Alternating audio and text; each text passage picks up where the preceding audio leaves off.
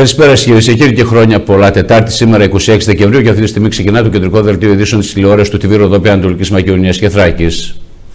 Λίγες μέρες πριν από το τέλος του 2018 και την έναρξη της εκλογικής χρονιάς στην Ελλάδα και το μόνο αναπάντητο ερώτημα που έχει μείνει είναι η ακριβής ημερομηνία που θα στηθούν οι κάλπες.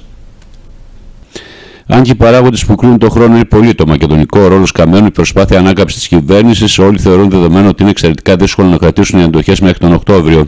Ιδιαίτερο ενδιαφέρον έχουν οι εκτιμήσεις των ξένων παραγόντων και ιδιαίτερα των ξένων πρεσβειών στην Ελλάδα. Αν και πολλές φορές ο ρόλος τους έχει δαιμονοποιηθεί, ειδικά της Αμερικανικής πρεσβείας, οι ετοιμασίες, προβλέψεις, αναλύσεις των διπλωματών των μεγάλων χωρών έχουν τη σημασία τους. Οι πληροφορίες αναφέρουν ότι οι αναλυτές της πρεσβείας περιμένουν ότι θα στηθούν κάλπες στην Ελλάδα το Μάιο σε μια πολλαπλή διαδικασία για την οποία ήδη υπάρχουν ετοιμασίες. Ελέγχονται στα ηλεκτρονικά συστήματα, αγοράζονται κάλπες, επιλύονται θέματα που αφορούν στις ουρές που μπορεί να δημιουργηθούν στα εκλογικά κέντρα λόγω των πολλών ψηφοδελτίων ευρωεκλογέ, δημοτικές περιφερειακές. Όμως ενώ οι πρεσβείες και οι περισσότεροι πολιτικοί αναλυτές βλέπουν Μάιο, εκφράζουν την άποψη ότι οι εκλογές θα γίνουν το Μάρτιο.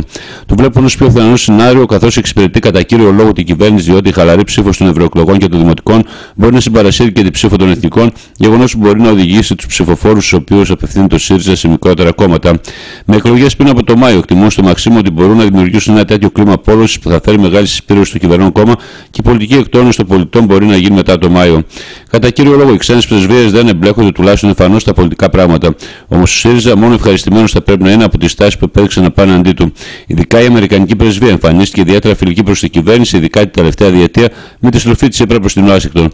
Οι αναλύσεις των ξένων διπλωματών γίνονται ασφαλώς ανάλογα με τα συμφέροντα της χώρας τους και ενδεχομένως να εκτιμούν τώρα ότι η χώρα πρέπει να πάει σε εκλογές του συντομότερο ώστε να ξεκαθαρίσει το τοπίο. Όμως οι πρεσβείες βλέπουν για την επόμενη μέρα ανεξαρτήτως του νικητή των εκλογών. Ειδικά για την Ελλάδα, οι ξένες χώρες θέλουν να μην υπάρξει πολιτική αστάθεια και συγκρουσιακό κλίμα.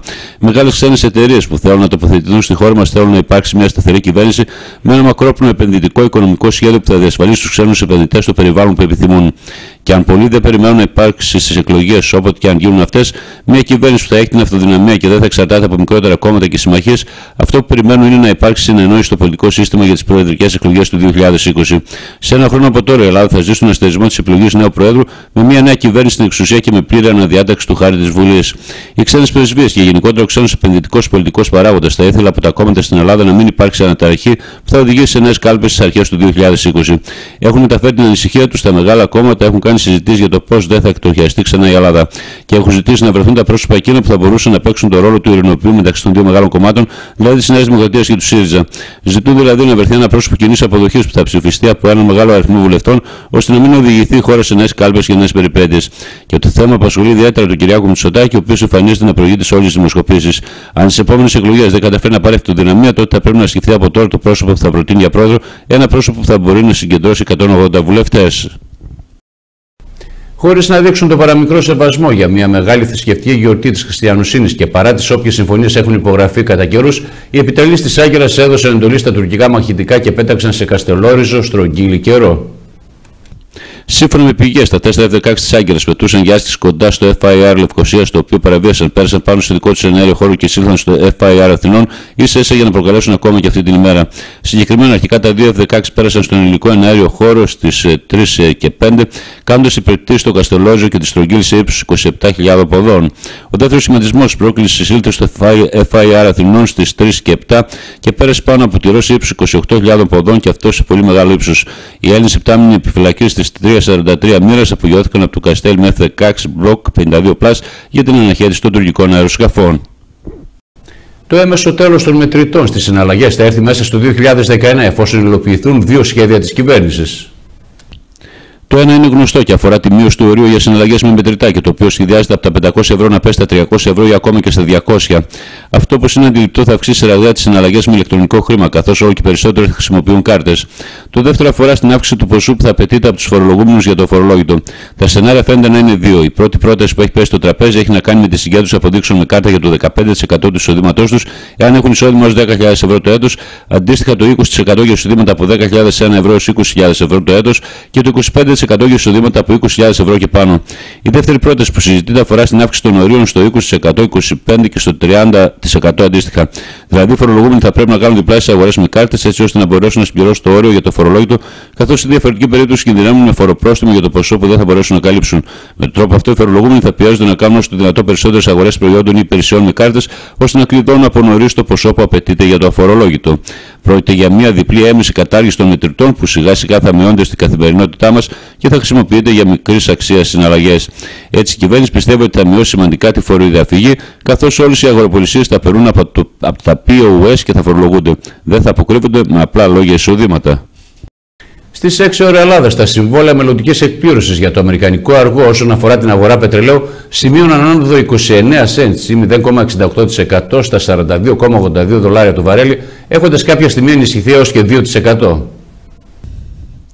Μεικτέ τάσεις επικρατούσαν στην αγορά πετρελαίου, με το αμερικανικό αργό να ανακάμπτει από τις σημαντικές απώλειες προηγούμενης συνεδρίας, αν και διατηρούνται ανησυχίες για την παγκόσμια οικονομία.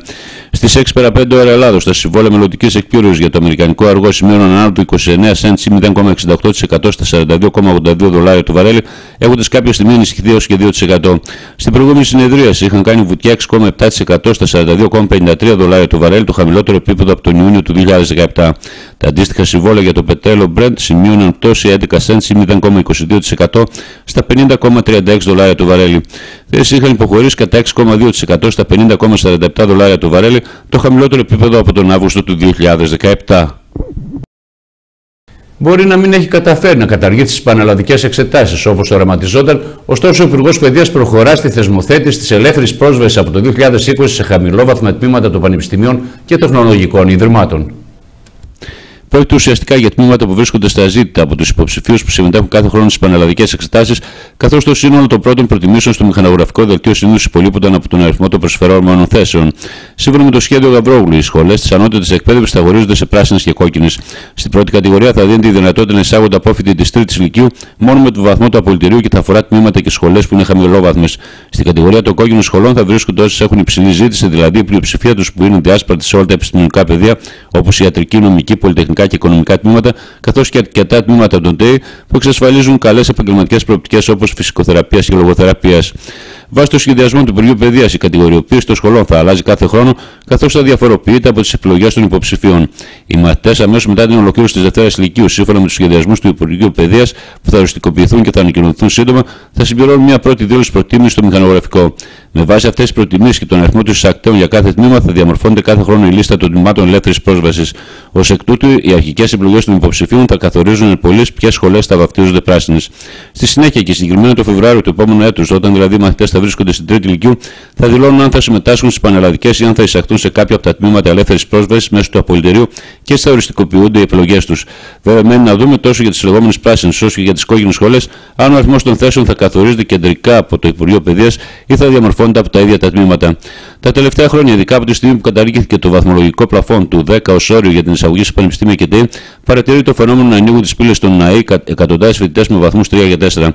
Και στις τελευταίες πανελλαδικές εξετάσεις το φαινόμενο επαναλήφθηκε φαίνοντας στο προσκήνιο παθογέννη της ανώτατης εκπαίδευσης. Υπενθυμίζω ότι υπήρξαν φοιτητές που πέρασαν το κατόφλιο του τμήματος διοίκησης επιχειρήσεων του ΤΕΙ Υπήρου με 3.034 μόρια. Στο τμήμα διοίκησης επιχειρήσεων του ΤΕΙ Ιωνίου Νήσων στη Λευκάδα εισήχθησαν φοιτητές με 3.072 μόρια, ενώ στο τμήμα διοίκησης επιχειρήσεων του ΤΕΙ Δυτικής Μακεδονίας στα Γρεβενά με 4.064 μόρια. Λίγο υψηλότερη ήταν η βάση για τα τμήματα τεχνολόγων περιβάλλοντος του ΤΕΙ Ιωνίου Νήσων στη Ζάκητο, καθώς οι υποψήφοι χρειάστηκαν 4.738 μόρια, ενώ στο τμήμα διοίκησης οικονομίας και επικοινωνίας πολιτιστικών και τουριστικών μονάδων ΤΕΙ Δυτικής Ελλάδας η βάση διαμορφώθηκε στα 5.285 μόρια. Το Υπουργείο Παιδείας αντί να βάλει φρένος σε αυτό το φαινόμενο δείχνει να το επιβραβεύει, καθώς πλέον η εισαγωγή σε αντίστοιχα τμήματα θα γίνεται μόνο από το απολυτήριο ηλικίου. Λίγες μέρες απομένουν στου ιδιοκτήτες οχημάτων για να εξοφλήσουν τα τέλη κυκλοφορίας του 2019 εμπρόθεσμα και να αποφύγουν το πρόστιμο. Το ενδεχόμενο να δοθεί παράτηση πάντως παραμένει ανοιχτό και θα κρυθεί όπως όλα δείχνουν από τον όγκο των πληρωμών που θα έχουν γίνει ω τη Δευτέρα 31 Δεκεμβρίου. Πηγές του Υπουργείου Οικονομικών εκτιμούν πως κατά πάσα πιθανότητα θα δοθεί και φέτος ολιγοήμερη παράταση, με δεδομένο ότι μέχρι και την προηγούμενη εβδομάδα ο αριθμός των ιδιοκτητών που είχαν παραλάβει τα τέλη του 2019 ήταν μικρότερο συγκριτικά με την αντίστοιχη περσινή περίοδο. Τα ειδοποιητήρια για την καταβολή των τελών είναι αναρτημένα στην ιστοσελίδα της ade.gr και gsis.gr. Η διαδικασία εκτύπωσης και πληρωμή των τελών συμπληρώνεται το ΑΦΜ που αναγράφεται στην άδεια κυκλοφορίας, συμπληρώνεται τον αριθμό κυκλοφορίας του οχήματος που αναγράφεται στην άδεια κυκλοφορίας, συμπληρώνεται το έντος τελών κυκλοφορίας, επιλέγεται αναζήτηση, επιλέγεται εκτύπωση όταν εμφανιστεί το μήνυμα επιτυχής αναζήτηση. Η πληρωμή μπορεί να γίνεται στα γκισέ της τράπεζας ή μέσω e-packing. Όσοι επιλέξουν τη δεύτερη επιλογή θα χρειαστούν μόνο τη ταυτότητα οφειλής που υπάρχει στο ειδοποιητήριο. Οι κάτοχοι πιστοτικών καρτών μπορούν να τα εξοφλήσουν σε έως 12 άτοκες δόσεις. Οι ξηροί καρποί έχουν αφαιρεθεί από κάποιες δίαιτες από φόβο ότι έχουν αρκετές θερμίδες και παχαίνουν του ανθρώπους αν καταναλωθούν σε μεγάλες ποσότητες. Τώρα όμως οι διατροφολόγοι λένε ότι βοηθούν στη διατήρηση του βάρους και στην υγεία. Τώρα όμως οι διατροφολόγοι λένε ότι δεν υπάρχει λόγος να νιώθουμε ενοχές να φάμε μερικούς ξηρού καρπούς, ειδικά τα αμύγδαλα κατά τη διάρκεια των γιορτών. Οι ειδικοί στο Πανεπιστήμιο King του Λονδίνου υποστηρίζουν ότι αυτή η τροφή έχει πολλή ενέργεια, αλλά οι θερμίδες δεν απορροφώνται από το σώμα. Η Dr. Σάρα Μπέρι του Τμήματος Διατροφικών Επιστημών είπε ότι η έρευνα δείχνει ότι οι πληροφορίες που αναγράφονται στη συσκευασία δεν ανταποκρίνονται πάντα με ακρίβεια στο λίπος και τις θερμίδες που καταναλώνουμε. Η ξηρή καρπή είναι το τέλειο παράδειγμα γιατί τους αποφεύγουμε λόγω των θερμίδων που θεωρούμε ότι μας δίνουν. Αποδεικνύεται όμως ότι μας κάνουν καλό ειδικότερα στην υγεία της καρδιά. Οι ερευνητές συνέκριναν τα αμύγδαλα όταν καταναλώνταν σε μορφή αλευριού και όταν είναι σε μικρά κομμάτια. Ανακάλυψε ότι το λίπος του ξερού καρπού μένει παγιδευμένο καθ' όλη τη διάρκεια της πέψης και δεν απορροφάται. Ωστόσο, όταν είναι τριμμένο σε αλεύρι, η δομή του διασπάται και το λίπος μπορεί να γίνει πιο προσβάσιμο. Καταλήγουν λοιπόν ότι ο ιδανικός τρόπος κατανάλωσης των ξερών καρπών είναι σε φυσική μορφή. Στο σημείο αυτό έφτασε στο τέλος το κεντρικό δελτίο ειδήσεων στη τηλεόρασης του Τιβύρου Δόπη Ανατολική Μακεδονίας και Θράκης. Επόμενη προγραμματισμένη ενημέρωση γύρω στα μεσάνυχτα. Από όλους εμάς, καλό σας βράδυ.